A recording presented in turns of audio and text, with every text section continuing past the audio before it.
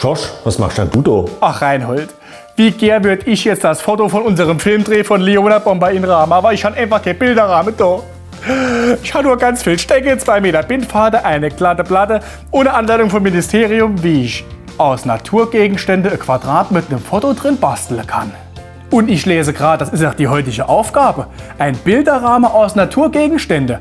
Ihr braucht dafür nur eine dünne Holzplatte, vielleicht ein paar Steine, vielleicht Äste und Bindfaden und bindet das Ganze so zusammen, dass es später ein wunderschöner Bilderrahmen gibt und hole euch irgendein Foto von eurer Familie, von Freunden und basteln euch euer eigener Bilderrahmen. Das sieht dann so aus.